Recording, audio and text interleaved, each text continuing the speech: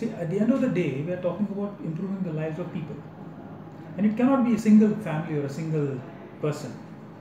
Our next belief is if you really want to develop a country or a society or a community, you need to develop individuals in society.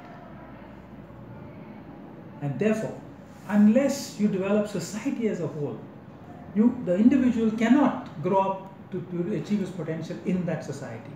He will leave it, he will have to. Right? So it's like this principle of a rising tide raises all boats. You can't cut a cake if it doesn't exist.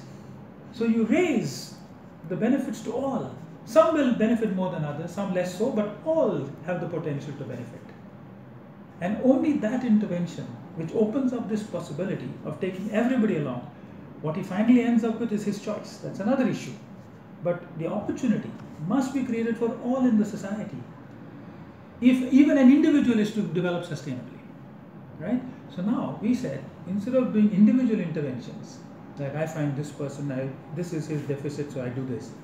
We said nothing doing. We will develop the base, the resource base on which a rural community depends, which is nature.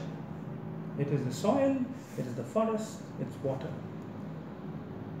which provide environmental services on which agriculture depends. So if I can stabilize and regenerate the developmental base of their livelihoods, which is agriculture, voila. Okay.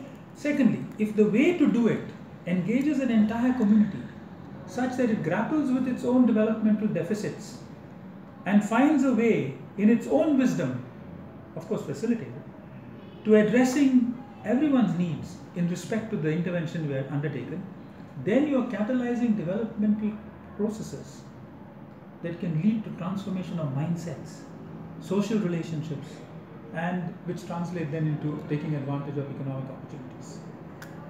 You see, the developmental paradigm is you can only sustainably grow in an equitable fashion or an inclusive fashion by engaging a, a community to grapple with the problem all are facing, which addresses their individual needs, but through the medium of a community.